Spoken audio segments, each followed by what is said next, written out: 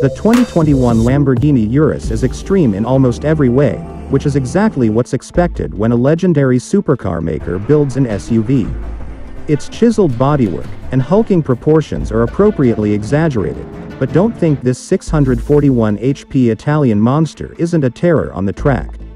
In fact, it was the quickest SUV we've ever lapped at Virginia International Raceway. This is a testament to both Lamborghini's dedication to absolute performance and the Super Utes track-ready hardware. While the company's Aventador and Huracan supercars can only be enjoyed by two people, the Urus can entertain, and no doubt frighten, as many as five passengers. Along with actually usable cargo space, it has the ability to tow a trailer and tackle off-road obstacles. Sure, it costs a fortune and shares some parts with the much less expensive Audi Q8, but the 2021 Urus earns its title as the ultimate SUV. Lamborghini has also added a few other colors to the Urus's standard color palette, including a new metallic gray called Grigio Keres, and a few matte paint options including black, gray, blue, and white. Interestingly enough, the company says that the most popular paint choices for the Urus so far are gray and yellow.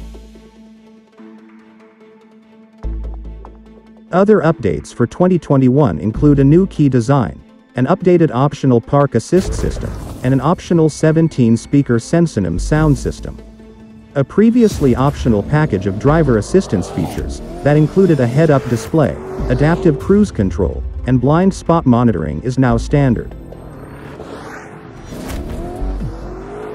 The Urus weds tremendous performance capabilities and wild styling to everyday practicality in a super ute that transcends the SUV genre. Engine, transmission, and performance.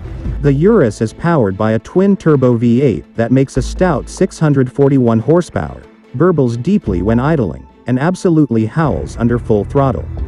Permanent all-wheel drive and an 8-speed automatic transmission conspire, with all that power to enable fantastic acceleration.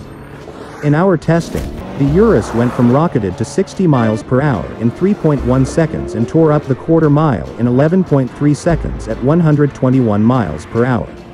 Likewise, Lamborghini estimates a top speed of 190 miles per hour. The Urus feels athletic from behind the wheel, too, with quick steering and stable high-speed cornering. With air springs at all four corners, the Urus has adjustable ride heights based on its various drive modes.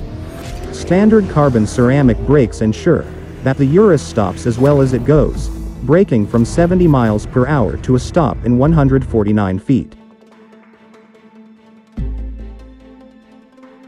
Pricing for the 2021 Lamborghini Urus goes up accordingly, as it now starts at $222,004, more than $10,000 higher than the 2020 model.